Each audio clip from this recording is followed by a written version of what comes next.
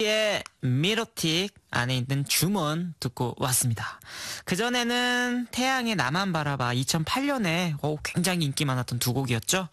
계속해서 2008년에 유행한 노래들과 그 노래에 얽힌 추억들 로그거 음악여행 만나보도록 하겠습니다.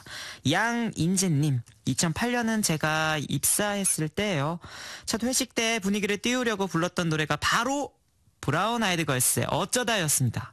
어쩌다 어쩌다 어쩌다 이 회사 들어왔는지 내가 이 꼴이 됐는지 뭐 이런 식으로 개사해서 불렀는데요. 아, 은근히 반응이 좋더라고요. 회식 때마다 선배들이 이 노래 불러달라고 계속 신청해서 2008년 한 해 동안 매 회식 때마다 정말 지겹도록 불렀던 기억이 납니다. 그 노래 오랜만에 듣고 싶어요. 야, 진짜 이 어쩌다 이 곡 굉장히 유행했었죠.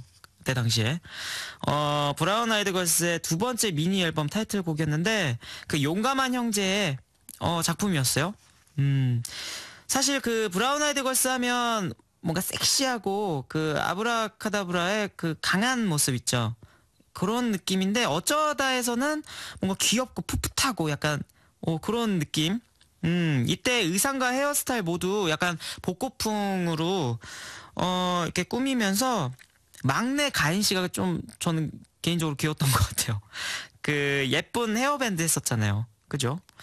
또 그 후렴 부분에서 막 손 이렇게 쭉쭉 뻗어서 이렇게 안무도 했었고 어쩌다 어쩌다 깜찍했어요. 아 다음 강한나 씨 2008년 제게 큰 아픔을 남긴 노래가 있으니 그 노래가 바로 주얼리의 One More Time 입니다. 제 남자친구가 주얼리의 서인영 씨를 엄청 좋아했거든요. 옷을 사러 가도 인형 누나처럼 입으면 안 돼?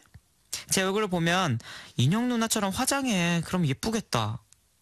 그리고 저랑 서인영 씨의 광팬인 남자친구와 대판 싸운 일이 있었는데요.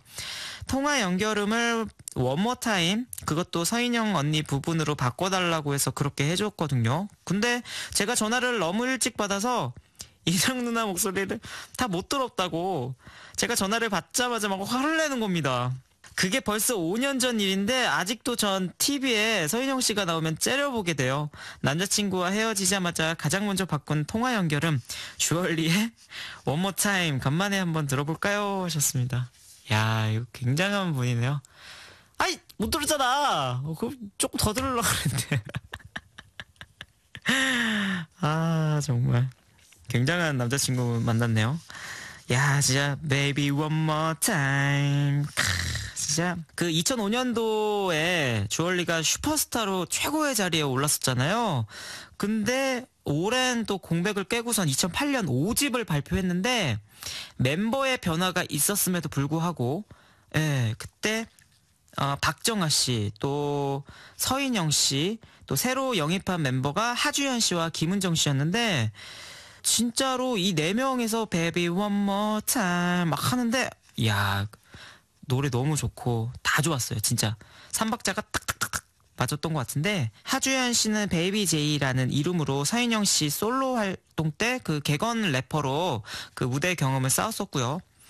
음, 만대 1의 오디션에 합격하면서 2년의 연습생 기간을 거쳐 주얼리에 합류하게 된 김은정 씨, 우리 베이지 씨 또 친구잖아요. 음, 이렇게 넷이서 함께 5집을 활동을 시작했는데, 야, 정말 대상도 받고, 사실 이때 One More Time 신드롬이었죠?